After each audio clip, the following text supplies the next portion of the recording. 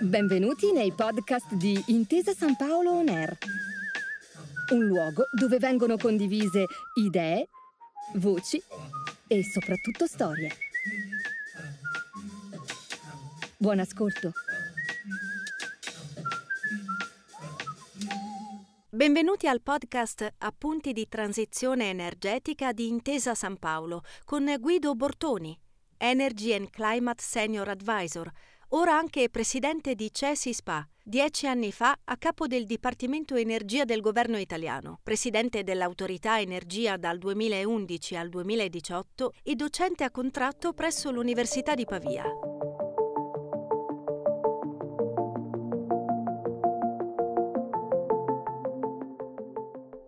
Benvenuti anche da parte mia. Nell'episodio di oggi parliamo di alcuni elementi fondamentali della transizione energetica che potremmo riassumere nelle cosiddette 4D. Decentralizzazione, digitalizzazione, decarbonizzazione e diversificazione. In realtà ce ne sarebbe anche un'altra, ma la vediamo alla fine. Nell'episodio precedente abbiamo trattato della transizione energetica, che è quel processo in itinere di trasformazione dei modi di produrre, rendere disponibile, conservare e consumare l'energia in maniera più sostenibile. Questi 4D sono gli strumenti attraverso cui possiamo realizzare la nostra transizione energetica, ma iniziamo dalla decentralizzazione.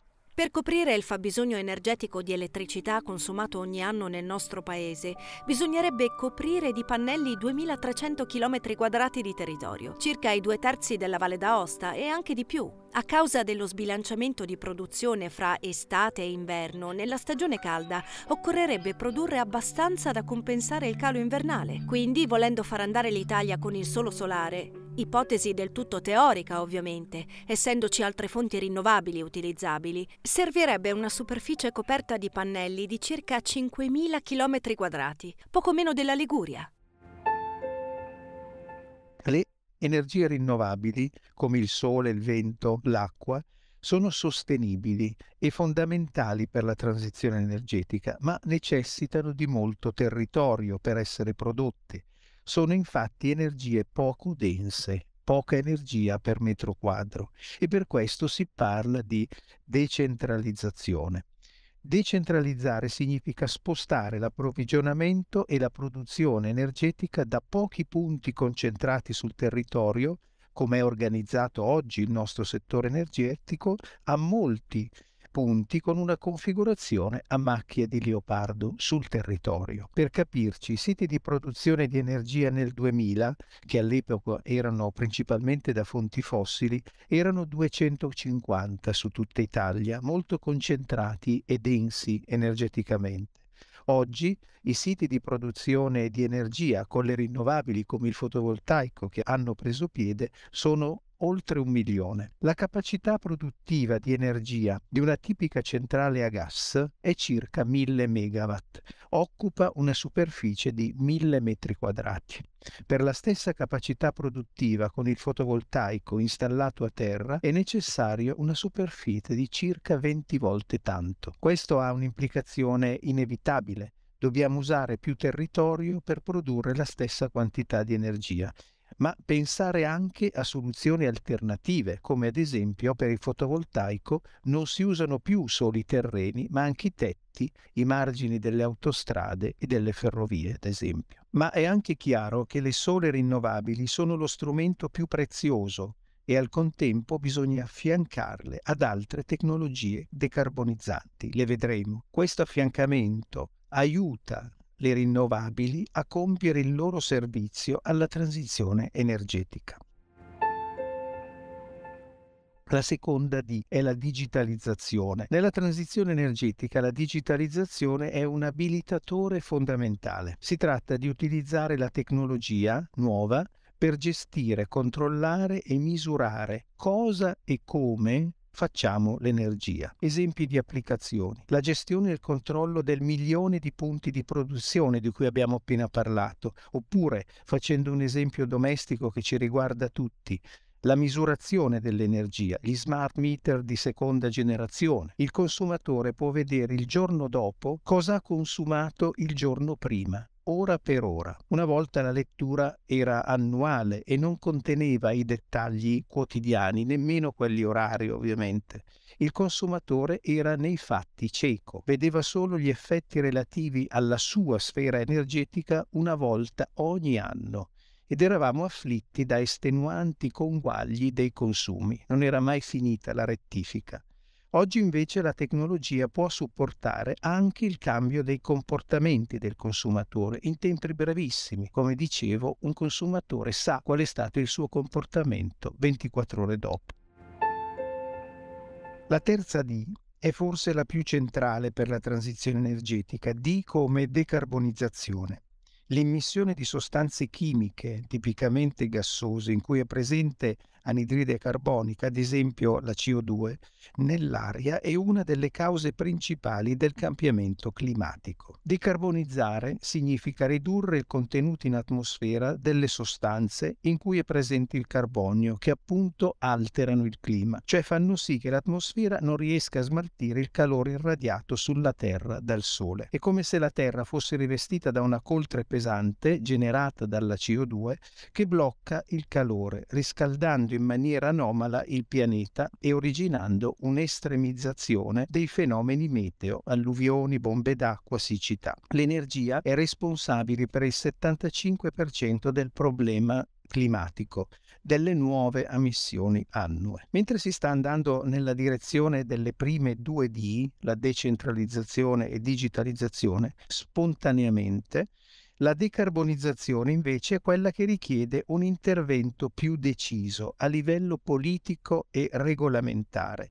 Non avviene da sola, dobbiamo spingerla. Infatti, se gli operatori dell'energia agissero seguendo solo il loro interesse economico, senza nessuna spinta regolamentare, la decarbonizzazione sarebbe molto molto lenta. Infatti se decontestualizziamo dalla crisi dei prezzi gas la fonte più interessante per gli investimenti e per gli investitori sarebbe quella fossile, che è anche quella però che genera maggiori livelli di inquinamento da CO2. Ecco perché il tema è diventato così centrale per tutti i governi e la direzione intrapresa è quella di creare le cosiddette policy a reazione dove gli operatori ah, reagiscono al disegno delle regole, ossia disegnare le regole del mercato in modo da allineare l'interesse economico degli operatori con quello della comunità, ad esempio quello di decarbonizzare il nostro ambiente. Che cosa fare per ridurre le emissioni di CO2 nell'atmosfera? Una soluzione è quella di tassarle con il meccanismo della carbon tax, vale a dire con una ecotassa che viene calcolata sulla quantità di emissioni clima alteranti che vengono emesse nell'atmosfera e che prevede quindi un'imposta su ogni tonnellata di anidride carbonica prodotta dalle aziende. Sì, stiamo dicendo in altre parole che si tassano in maniera più gravosa le tecnologie che emettono più CO2 così da incentivare e spingere l'adozione delle migliori tecnologie che non sono tassate, grazie al loro basso livello di emissione. È un gioco a penalità. Si penalizzano le tecnologie grandi emettitrici di CO2 in modo che la reazione, quindi, conseguente degli operatori è quella di orientarsi sulle tecnologie più pulite. Per questo le chiamo policy a reazione. A cosa serve? Ad indirizzare le aziende verso comportamenti che limitino l'impatto della loro attività sull'ambiente e dall'altro ad avere un introito fiscale che potrebbe essere potenzialmente utilizzato dai governi per investire nella tutela ambientale. Anche nella crisi, pur dedicando gli introiti ad intervento di sussidio, di aiuto dei consumatori per gli alti prezzi, non è comunque opportuno sospendere questo meccanismo che spinge sempre sulla decarbonizzazione progressiva. L'ultima D è la diversificazione. Diversificare l'energia significa far ricorso a diverse energie primarie, diverse metodologie di produzione e anche ovviamente diverse tecnologie. A cosa serve? Permette la riduzione di rischi presente in ogni fonte energetica, ogni fonte energetica non è scevra dal suo rischio, permette la riduzione di metodologie di produzione e tecnologia.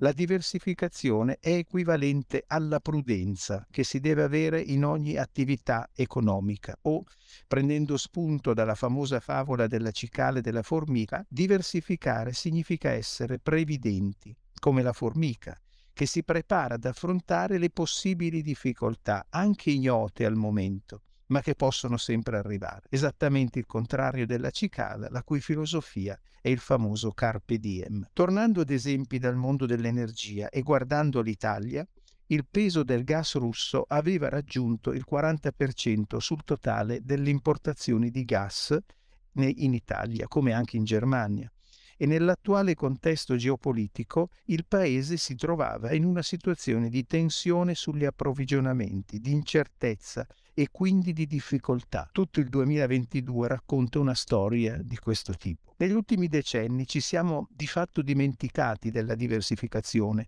come strumento di assicurazione del nostro sistema energia contro rischi e difficoltà che arrivano da tutte le parti e di vario genere. Guardando il futuro e come per la decarbonizzazione, il ruolo dei governi è quindi essenziale per dare spinta alla diversificazione che anch'essa da sola non avverrebbe.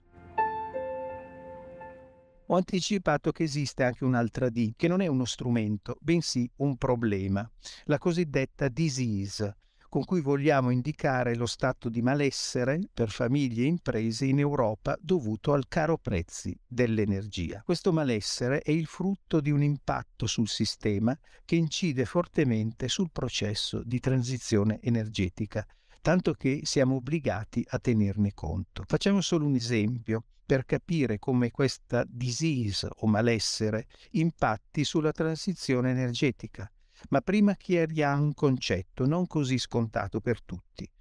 I consumatori pagano l'energia elettrica proveniente dal mercato ad un prezzo che è determinato dalle sole produzioni a gas. Quindi tutte le tecnologie vengono remunerate allo stesso prezzo fissato dalle produzioni a gas. Nell'era pre-Covid e pre-caro prezzi, quindi fino al 2019, le rinnovabili elettriche necessitavano di incentivi ulteriori quindi avevano importi ulteriori rispetto ai prezzi che realizzavano sul mercato elettrico perché le rinnovabili erano più costose rispetto alle produzioni a gas. Con la crisi del caro prezzo, in particolare di quelli del gas, la situazione si è invertita, si è capovolta. Le rinnovabili sono più convenienti di tutte le altre produzioni elettriche, tanto che si parla di trasferire il cosiddetto guadagno inatteso delle rinnovabili a beneficio del consumatore finale. Il trasferimento, se si fa, va disegnato con cura, altrimenti si rischia di penalizzare gli investimenti green nelle rinnovabili e quindi di ritardare il percorso di transizione energetica. L'episodio di oggi volge al termine. Speriamo di aver chiarito meglio quali sono gli elementi fondanti di questa transizione energetica e perché su alcuni di questi c'è e ci dovrà sempre essere maggiore attenzione da parte dei policy maker e regolatori europei e nazionali. Le fonti dei contributi sono indicate nella sinossi. Grazie per aver ascoltato i podcast di Intesa San Paolo On Air. Al prossimo episodio.